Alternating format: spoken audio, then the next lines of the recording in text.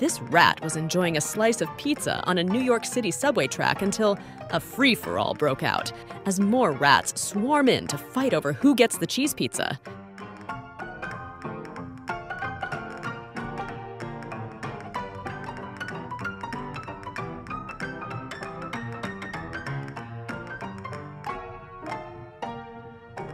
It didn't take long before it turned into total chaos.